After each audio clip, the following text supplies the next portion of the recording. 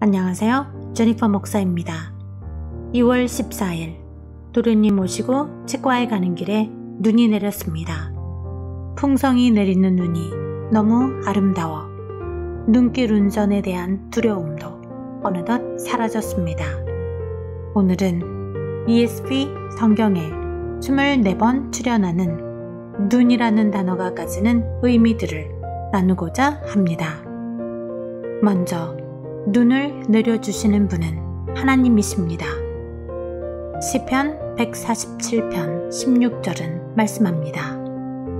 눈을 양털같이 내리시며 서리를 재같이 흩으시며 두어 절 더 읽어봅니다. 17, 18절 우박을 떡 부스러기 같이 뿌리시나니 누가 능히 그의 추위를 감당하리요. 그의 말씀을 보내사 그것들을 녹이시고 바람을 불게 하신즉 물이 흐르는도다. 일기변화 모든 것이 하나님이 하시는 일임을 알 수 있습니다. 욥기 37장 6절도 말씀합니다.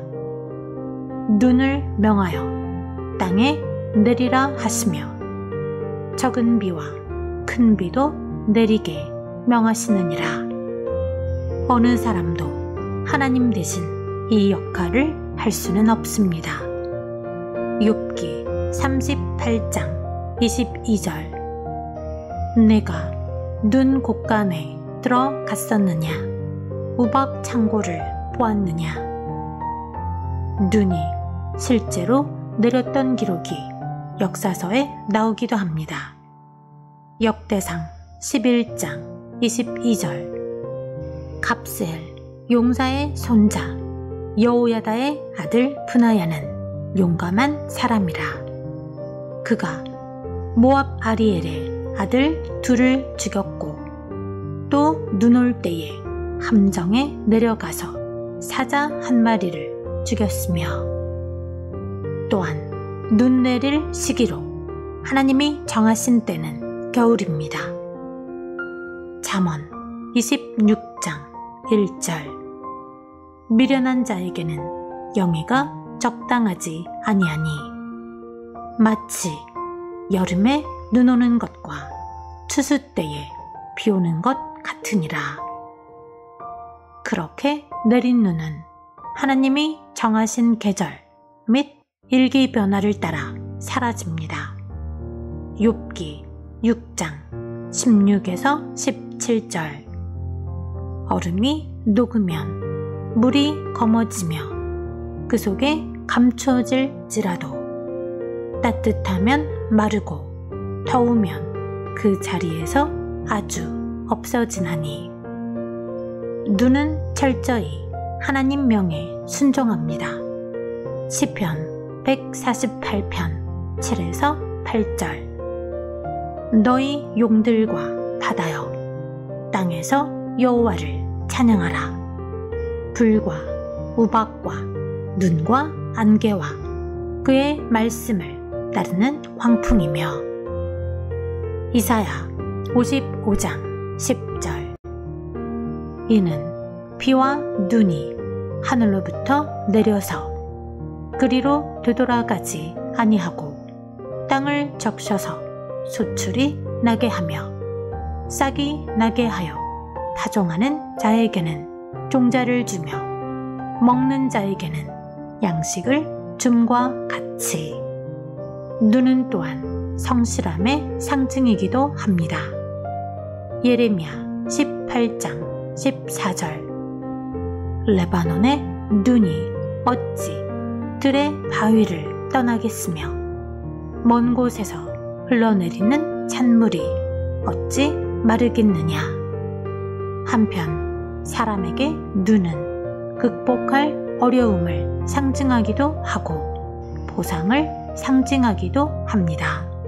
잠언 31장 21절 자기 집 사람들은 다 홍색 옷을 입었으므로 눈이 와도 그는 자기 집 사람들을 위하여 염려하지 아니하며 잠언 25장 13절 충성된 사자는 그를 보낸 이에게 마치 추수하는 날의 얼음 냉수 같아서 능히 그 주인의 마음을 시원하게 하느니라.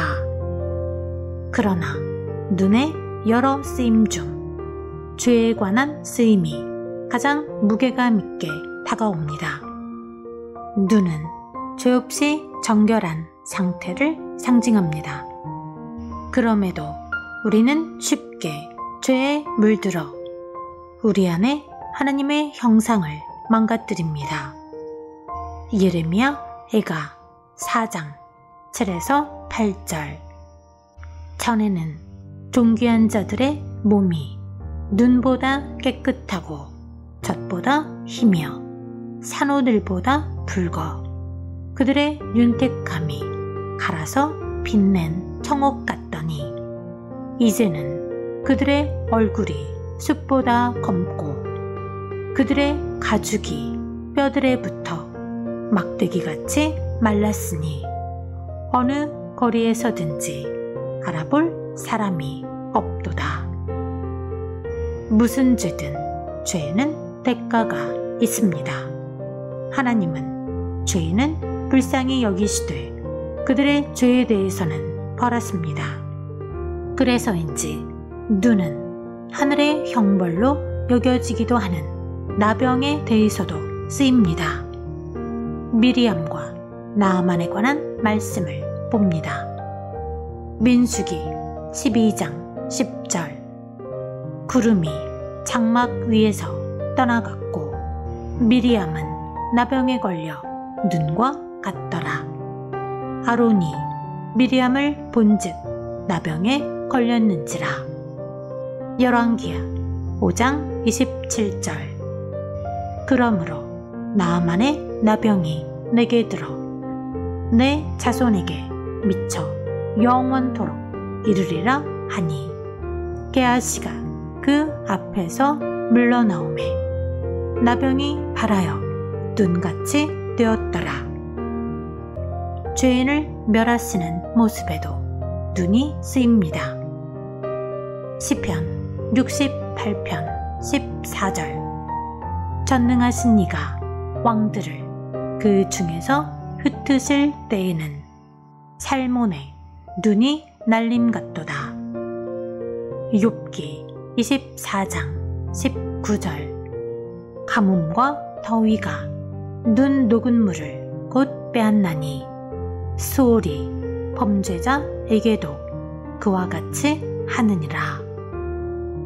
이러한 결과가 죄 때문에 발생함을 깨닫는 자는 다윗처럼 하나님 앞에 간절한 마음으로 죄사함을 구하게 됩니다. 시편 51편 7절 우슬초로 나를 정결하게 하소서 내가 정하리이다. 나의 죄를 씻어주소서 내가 눈보다 희리이다. 그러나 그 마음이 아무리 간절해도 자기 자신이 그 죄를 없앨 수는 없습니다.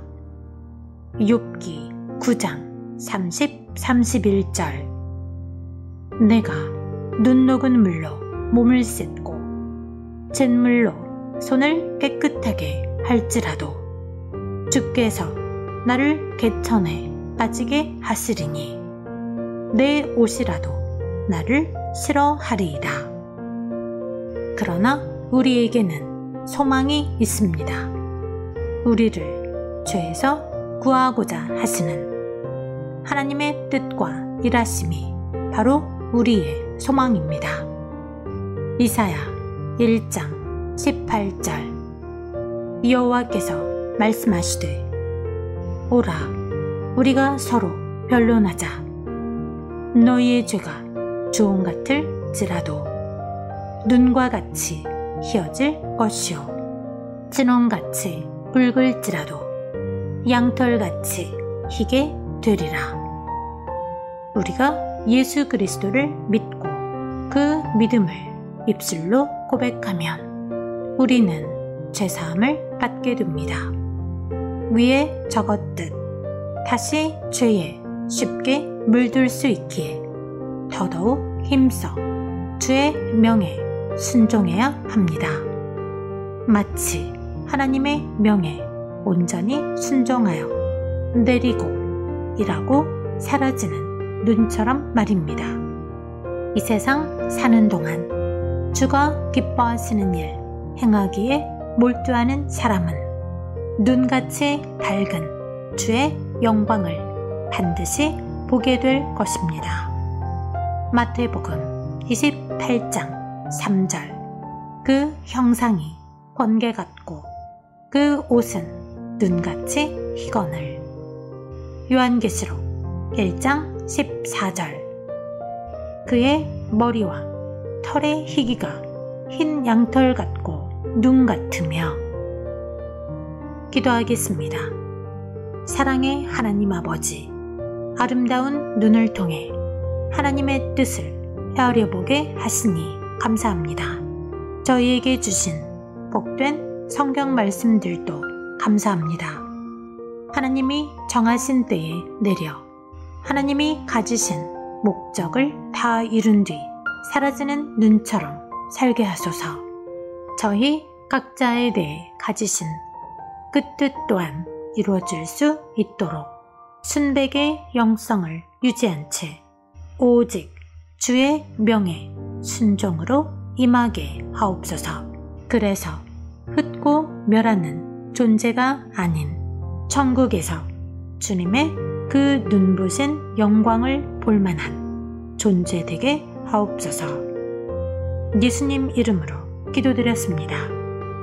아멘.